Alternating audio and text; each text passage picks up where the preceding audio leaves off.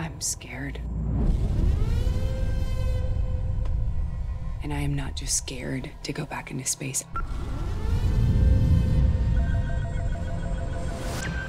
I am scared that this mission is gonna fail.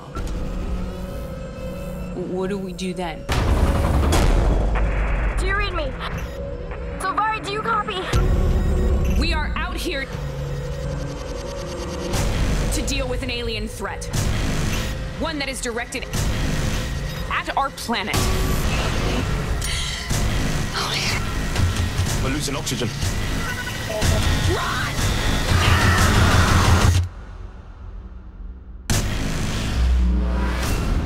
This mission cannot and will not fail.